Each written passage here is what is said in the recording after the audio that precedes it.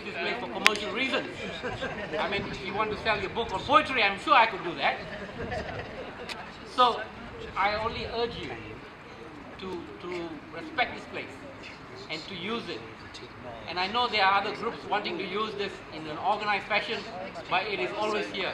And, and I want to thank Ron Wilkinson, who has put in a lot of work, and the committee that formed around him. You know, Jim Weber is here, Kathy Strong, Alan Tristram, and a number of others who have come together to make this happen. And Betty Vedgalan, our senior stateswoman of the district, she um, was not well and so she cannot come. And so I give her apologies to you. So having said that, I, I can only urge you because I come from a country where this is not freely available.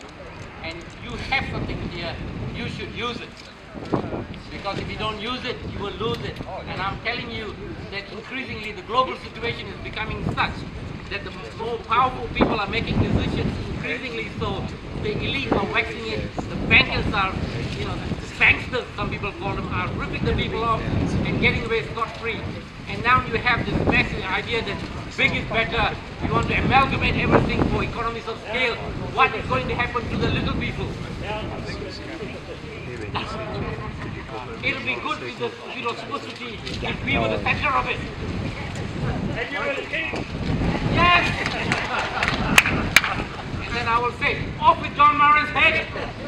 Because he's a follower of Socrates. Give him a drink or two.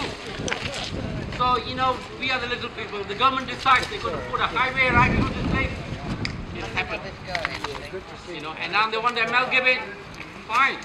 Let's discuss this. Let's not have our minds being massaged in one direction. Let us all have all the options on the table and let us make informed decisions. And let us be people who can give prime ministers a ticket for speeding. Thank you.